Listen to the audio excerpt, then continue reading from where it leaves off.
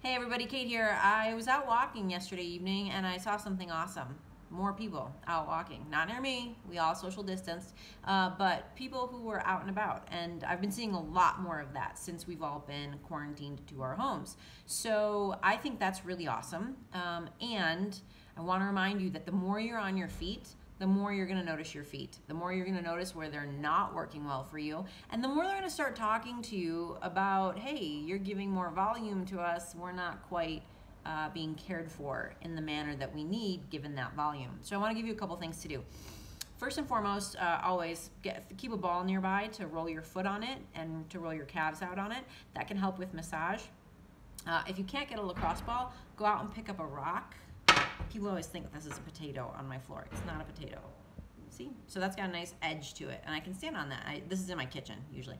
Um, but massage is only one part of the answer, and it's not the answer that will actually change how your feet function. So massage, passive stretching, good, not the complete story. You have to add strengthening drills um, to your foot training to be able to make your feet strong, functional, capable, etc., etc.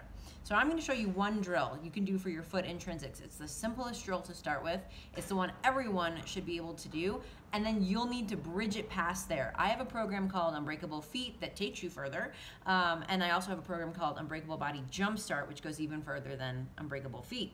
So those are some options for you, but the starting point for everybody is this drill I'm going to show you next where we lift our big and little toes. And that is strengthening our foot intrinsic muscles. Our foot intrinsics help us have an arch to our foot. Well, three. We have three arches in our foot, not one. They should all look like an arch. Uh, it helps us have our toes point in the right direction and, and flex and extend the way they're supposed to. And it helps our foot navigate the natural pronation supination effect that happens as we move through our gait cycle. So let me show you that video of how to lift your toes and then give it a try and let me know how it goes. Okay, so the toe lifts look like this. You lift the big toe without lifting the little ones. Then you lift the little toes without lifting the big ones. And you'll do this from a standing position or you can be seated like I am right now. Big toe lift, little toes lift. While I lift the big toe, I press the little toes down. While I lift the little toes, I press the big toe down. One huge opportunity that everybody has with their toes is uh, what they do with their big toe when they lift it. Ideally, we would love to see the toe lift straight upward, fairly straight upward. A lot of us, when we lift, our toe goes towards the other toes. And so the great toe faces the little toes. You can see the difference. Straight up, going towards the little toes. We're working different muscles.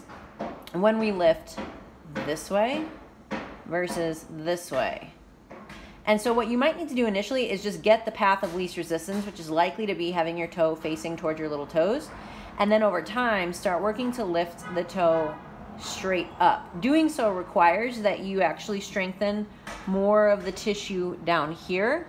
Uh, and I am going to be going over some more of that in future posts. It's a little more detailed than I want to do right now. But uh, start with lifting your big toe 10 times and then your little toe 10 times. And then once you can do that, um, maintain that, but then also add on with more foot strengthening work.